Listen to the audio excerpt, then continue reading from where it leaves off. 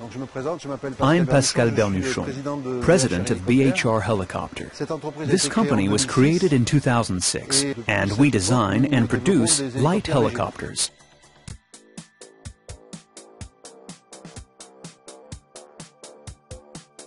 In October 2013, Dassault Systèmes introduced us to the cloud project and we joined instantly.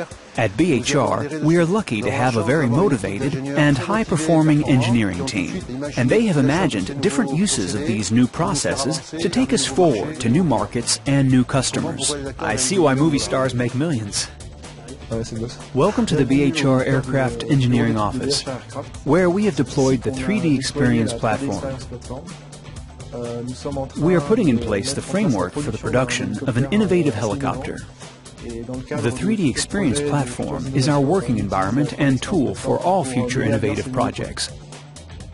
One of the key benefits of the 3D Experience platform is really the installation which is fast and simple. Uh, In a few minutes, we were playing and taking advantage of CATIA's Cloud User Interface.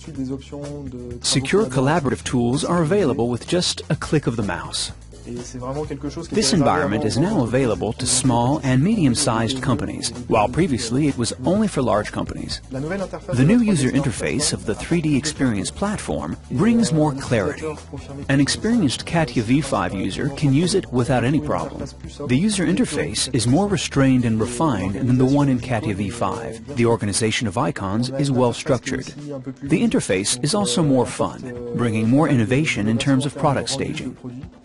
Interesting visual effects can be shown directly to our customer without requiring image or video post-production. Directly at the design stage, we can have parts and products with very nice rendering. With the 3D Experience platform, we can design more successfully. It allows us to carry out all part simulation and specifically mechanism simulation. We can animate the constraints more easily and with more flexibility than before. A complex mechanism can be simply set in motion. This enables low-cost validation as we avoid physical prototyping. And this is really interesting for us. The other interesting point is that behind the design itself, everything that goes with the communication around the product is interesting. For instance, at BHR we plan to communicate directly with our customers via different media within the 3D Experience platform. This can be blogs, shared medias, pictures, and movies. So the impact of the cloud in the 3D Experience platform is access to our data in real time. But more than that, access to up-to-date data everywhere around the world. Today, we are starting the production phase and all these technical achievements were possible thanks to the 3D Experience platform.